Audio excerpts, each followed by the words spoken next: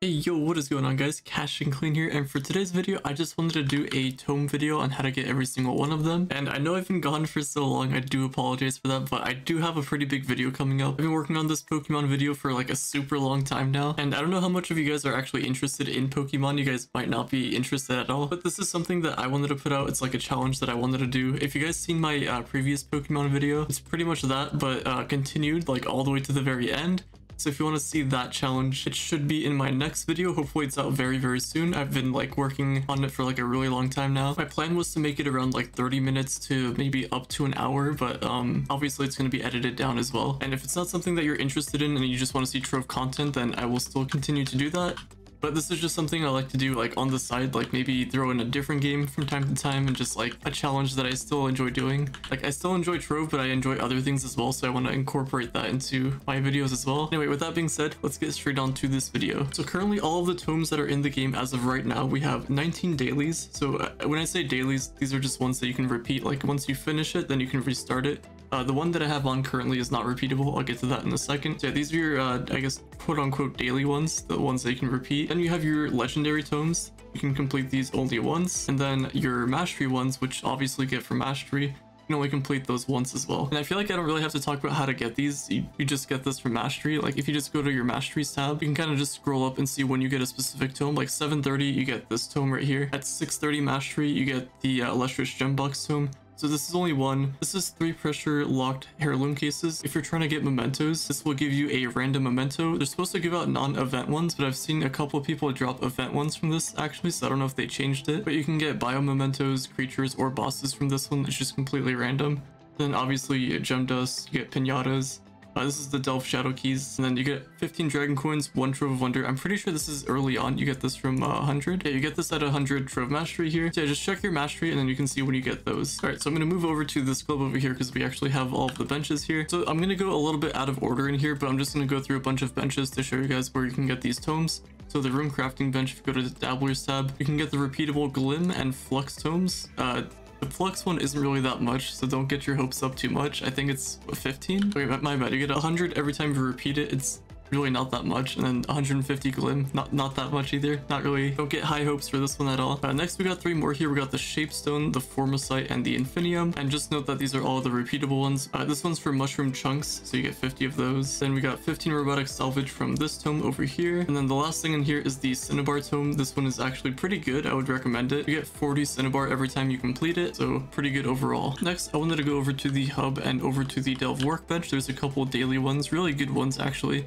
Highly recommend getting these. These are pretty good for Flux as well if you want to sell it. But there's six different tomes in here and you do need the recipes to craft this. You can either purchase these or I believe they're in the undersex biome from a merchant. I know you have to get them from a merchant or obviously you can just use the marketplace to buy it. But yeah, just know that there's these tomes in here. Pretty good for Flux if you want to sell those. Next, I went over to the Shadowy Market here. I'm all the way in the Shadow Tower area, so I go to the Shadowy Market. And there's a couple things you can get in here. There's these two tomes. You can repeat these ones daily. Or not daily, but you can just repeat them over and over. And then there's one for Lunar Souls you can get, which you can you can get right here. 20 of these uh, Tentacles of Cthulhu's or 400 Eyes of Cthulhu. So yeah, four tomes in total in here. So over here in the Neon City biome, you can actually find one of these workbenches. Some clubs actually do have these, so you can check that out. But if we go over here over to tomes, there's actually five different different tomes we can get in here.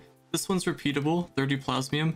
And these ones are pretty good to get as well because these resources aren't that easy to get. And obviously sentient shards are pretty time gated, so you can get those as well. The rich fertilizer, I know I went out of order here, but this is actually from a store pack. I don't think I have it, but it's, it's the flower power pack. It's for 1500 credits. We got the Instagrower one here. This is also from the flower power pack. You, uh, it's for 1500 credits and you get the rich fertilizer one as well. Then we got this one over here, which produces 40 big bombs. This one's also from the store. It's 2500 credits to get this one. And then we have the writings of Wonder here. This gives you two Trove of Wonders. So if you want to get this, I've seen this on the marketplace. I've also seen this in Luxion. I don't know if there's any other place you can get this, but I know those are the two that you can get it from. But they just give you two Trove of Wonders, and you can only do this once a week. So you can technically just get a Gonda naturally through this, but it's really difficult. It's, it's an option. Next, I want to talk about a couple in the store. Actually, there's more than a couple in the store, but if you go to the Crystals tab, there's uh, four tomes here. These are repeatable one time.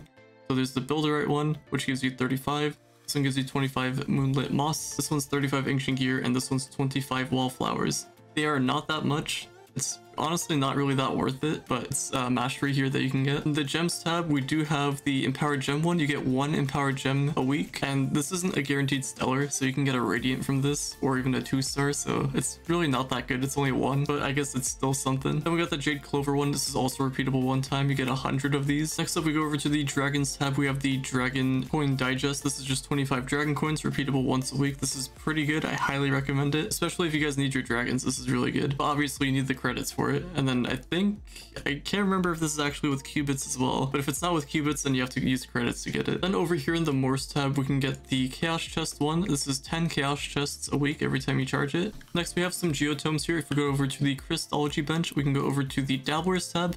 We can get the Daydrop tome here and the Gleamstone one. and complete these once a week. Then over in the Enthusiast, we can get the Moonlit Moss over here. I did mention this in the store as well, but you can also just craft it here. Then over here, we got the Builderite. This one's in the store as well, but you can craft it. Then we have the Ancient Gears, the Wallflowers. So then we have this one over here where we have Cosmic Gem Dust. This gives you 5,000 a week. There is ones for uh, water, fire, and air, but that's through Mastery. I don't know why they didn't make this one through Mastery, but I guess they involved this one in Geode. Then we have two more important tomes here. We have the Metamatter one, which I highly recommend getting if you can. You get four Metamatter per week. You can only do this once a week. It does take 10 to craft, but like in the long run, you'll, you'll just get more. So it's pretty good to have this. And then we got the Crystalline Core Tome. It takes 400 to craft it, which is annoying, and it only gives you 50. But I guess, you know, in the long run, it does help, so it's a pretty good tome to have as well. I'm still gonna go a little bit out of order here, but then for the Sundered stuff, you can go over, not there, over here. You can get three tomes here. This is for 18 Unnatural Devices. This is for 15 Sunder Charge Crystals. This is super good. I highly recommend getting this one if you can. These things aren't tradable, and they're kind of time-gated in a way, kind of. They're just really difficult to farm and annoying to farm. And then lastly, this one, 13 Ashfern Sporelings. Go over here to the Adventurers crafting bench and we can go over here down to the gems. You can get yourself a Book of Bound Brilliance. This is really good. I highly recommend doing this if you need your augmented gems.